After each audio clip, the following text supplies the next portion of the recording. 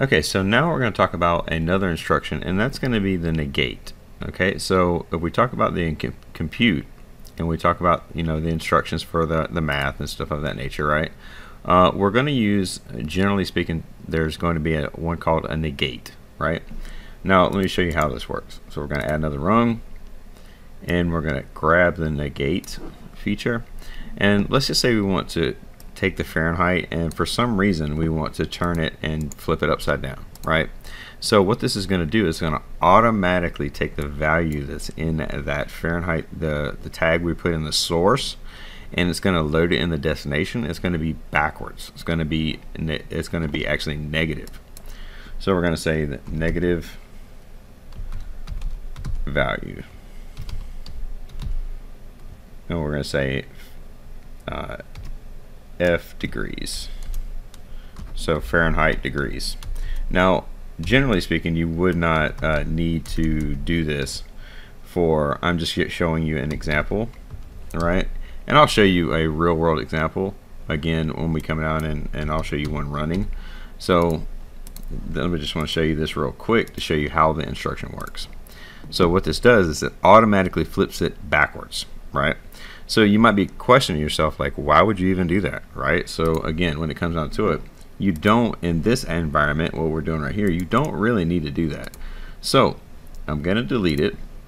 And let me show you a program that we do need it on. So in, in this program, we have one running right here, right? I have this program and I want to run this side by side.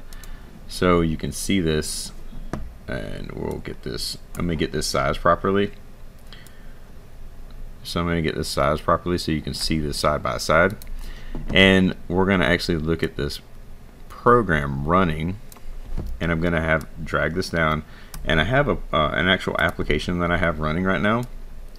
And I'll show you this again side by side so you can see these. And we'll come over here.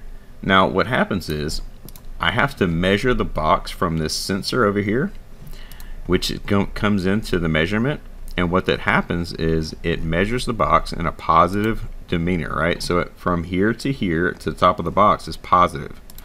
And that's 321 degrees, or 321 in millimeters. But the movement of the pick and place head is going to be negative of that because it needs to contact the top of the box and not squish the box. So I take the box and then I change the value. I, I basically I'm changing the value right here.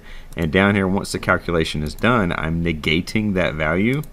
Then I'm commanding it to velocity. That velocity I'm commanding it to actually change the vertical position to pick that box up. Now this is again in a pick and place environment. So this is a, using a, a negate in a real world scenario. And you see this is actually picking and placing. So as this is working real quick I'm going to go ahead and, and uh, move these down. So this does have a, a, reject scenario. So let me actually clear this out real quick and clear that out just real quick so that we can actually talk about this a little bit more. And you can see this. Uh, this is a, a really good uh, training software that we, we are currently working on. And I want to actually kind of just show you in a real world scenario some of the real examples that we can actually go and, and use this on or use this type stuff on. So with that said, let's go back and, and this mode and come over here and talk about this a little bit closer. Again, so right here, this pick and place, right? This pick and place right here that we're talking about, it measures off of the sensor right here, and then it comes down, and this this pick right here has to come down, and then it comes down to the top of the box, and it wants you have to actually change the state. So in this ca calculated value right here, I have to change it to a negative value so that when it comes down and contacts the top of the box, it contacts it properly. Now with that said, that is how you would actually use a negate. So I wanted to actually introduce you and show you how you would use that. Again, we would use this in many different programs coming, but I wanted to show you this in a real world working environment so you can see exactly how that is currently working. Now in the move it, movement outward, I'm not using a negate because I don't have to. Uh, but in this current value of seeing this actually working, reading the sensor to the top of the box is a positive. So that's a positive movement or positive sensor. So when that comes down to it, that's a, a positive number. So I need to change that number because the movement here is opposite. So when I'm coming down contacting the top of the box, I don't want to go down too far. So I'm actually changing that to a negative number and the, the same value as I've read over here. So the, the distance did not change, but the movement of the function did of the actual part. So that's another illustration of using a negate kind of a complex scenario, but again, introducing you to using the negate and why you would properly use a negate function and a negate um, instruction. So with that said, we'll see you guys on the next one.